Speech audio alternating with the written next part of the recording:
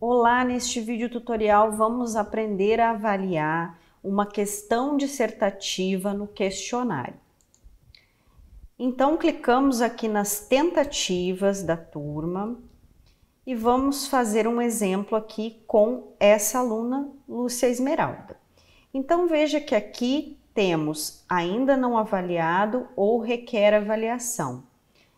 Indo diretamente aqui em requer avaliação, nós vamos para a questão que precisa ser avaliada.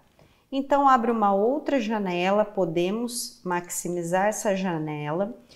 Vamos ler a resposta do estudante e aqui em comentário, faça um comentário ou modifique a avaliação, é que nós vamos clicar para fazer a avaliação.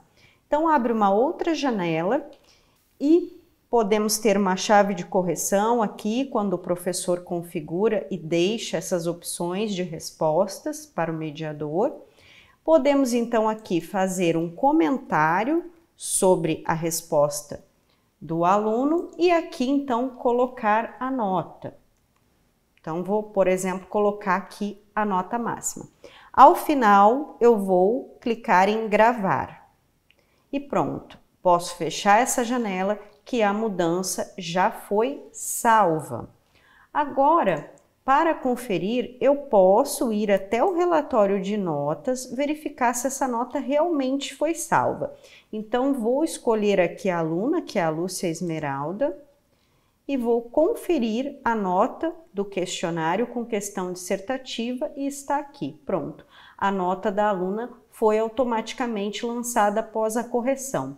Importante observar que a nota final vai ser sempre convertida para o total configurado na nota do questionário, independente do valor de cada questão que aparece quando nós vamos lançar essa nota. Nem sempre ela corresponde à nota final do questionário, mas aqui automaticamente a nota do aluno vai vir corretamente.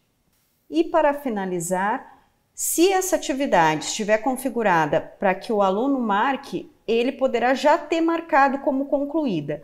Ou, se for configurada para marcar automaticamente após o lançamento da nota, assim que nós lançamos a nota da questão dissertativa, ela também poderá ser marcada automaticamente, se for o caso. Até a próxima!